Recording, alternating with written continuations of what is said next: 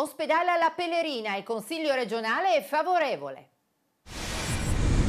Unanimità per i diritti delle donne in Afghanistan e Iran. Alessandria avrà l'azienda ospedaliero universitaria.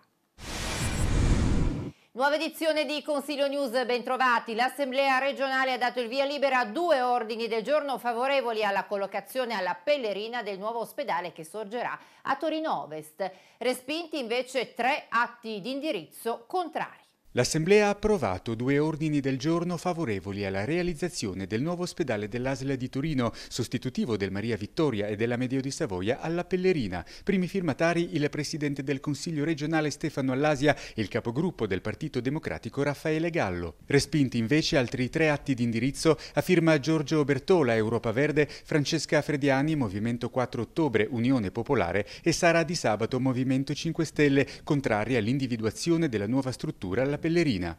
Tutti gli atti di indirizzo facevano seguito all'assemblea aperta dedicata a tale ospedale che si è tenuta la scorsa settimana. Dopo l'illustrazione da parte dei primi firmatari si è svolto il dibattito generale nel quale sono intervenuti anche Diego Sarno, Partito Democratico, e Paolo Ruzzola, Forza Italia. L'assessore alla sanità Luigi Cardi ha rimarcato l'esigenza di condividere la scelta del sito con l'amministrazione comunale che aveva offerto sette aree possibili. La preferenza sulla Pellerina è dipesa dal fatto che i tecnici comunali avevano attribuito a quella quell'area, seppur di poco, il migliore punteggio. In chiusura di seduta via libera da parte dell'Assemblea anche alla mozione a firma Alberto Preioni, Lega, sulle azioni necessarie per favorire il collegamento internazionale tra Italia e Svizzera attraverso il passo del Sempione.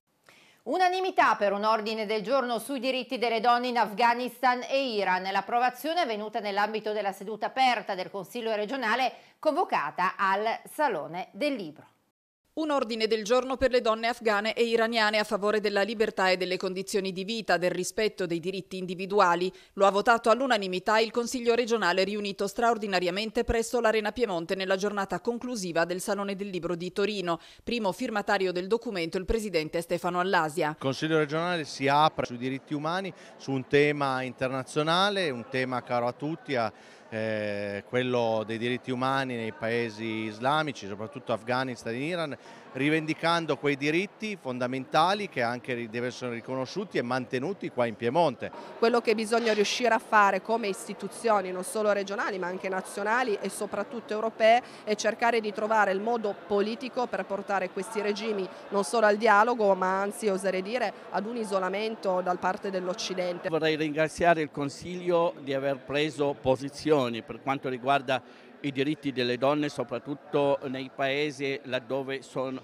veramente repressioni eh, sulle donne come in Afghanistan, come in Iran, alcuni paesi arabi, per cui eh, queste iniziative sono molto apprezzate da noi, dalla nostra comunità e da chi crede in un Islam diverso, non è quello che eh, noi eh, vediamo perché eh, è un Islam politicizzato che viene strumentalizzato. Presente in Arena Piemonte anche Roberto Ciambetti, coordinatore della conferenza dei presidenti delle assemblee legislative e presidente del Consiglio Veneto. È importante portare un'assemblea legislativa all'interno di una manifestazione grandissima come il Salone del Libro ed è anche importante discutere di un tema come quello dei diritti civili e umani. Quindi ben, eh, ottima idea del collega all'Asia, l'amico all'Asia e penso che sia appunto anche un momento per far conoscere ancora di più il Consiglio regionale del Piemonte in un momento appunto che vede un'affluenza di migliaia, decine di migliaia di persone in una realtà bellissima come questa. Alessandria avrà l'azienda ospedaliera universitaria, via libera da parte dell'Aula alla proposta di deliberazione. Il Consiglio regionale ha approvato all'unanimità dei votanti la proposta di deliberazione della Giunta per avviare l'iter che trasformerà in azienda ospedaliera universitaria l'attuale azienda ospedaliera Santi Antonio e Biagio e Cesare Arrigo di Alessandria. Il documento è stato illustrato in aula dall'assessore alla sanità Luigi Icardi. Darà alla sanità alessandrina sicuramente grandi prospettive per il futuro, quindi è necessario, visto che sono procedimenti articolati e complessi, partire subito e poter dare ad Alessandria, a tutta la provincia di Alessandria, ma al Piemonte in generale, davvero una risposta molto più adeguata e molto più di livello qualitativo. L'azienda eh, diventa un'azienda mista, un policlinico universitario e questo creerà ulteriormente uno, dire, uno sviluppo sia in tutti i campi, dalla ricerca alla formazione e alla didattica, ma anche nell'assistenza ospedaliera. In discussione generale i gruppi di opposizione avevano inizialmente obiettato sul metodo. Si era così giunti a una breve informativa dell'assessore e successivamente in sede di dichiarazioni di voto il Partito Democratico ha ritirato gli emendamenti presentati a firma Domenico Ravetti ed espresso soddisfazione per il fatto che l'assessore abbia inquadrato la delibera in un contesto che sarà possibile approfondire. Il tema è che nel momento in cui si trasforma un'azienda hub così importante è fondamentale l'analisi dello stato delle cose, a partire dal personale, alla produzione interna, alle criticità. La conferenza delle regioni diventa istituzione, anche il Piemonte ha ratificato l'intesa che ne disciplina le competenze.